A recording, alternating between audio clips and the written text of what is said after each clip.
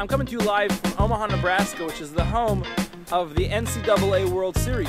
Interestingly enough, in this week's Parsha as well, we have a competition dealing with Aaron, who was chosen to be Kohen, and Korach, who decided that he also wanted to be a Kohen. And to solve this problem, Hashem told Moshe, have Korach and his men also bring Karbanot, also bring Ketoret and fire pans, and see if Hashem will accept theirs or Aaron's.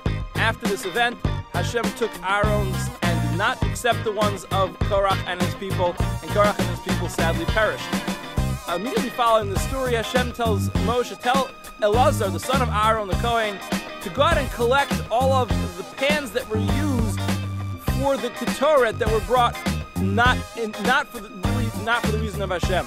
And the question to discuss this week is why collect these pans? If they weren't used for a mitzvah, if they weren't appropriately used, why collect them and make them into a cover for the Mizbeach? What Kedusha did they have?